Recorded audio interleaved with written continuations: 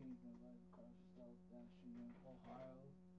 It's a protest song, controversial. It's one of those songs that, you know, I'm not saying anything bad about David Crosby, Stephen Stills, Graham Nash. I myself have mad, mad respect to those four guys because those guys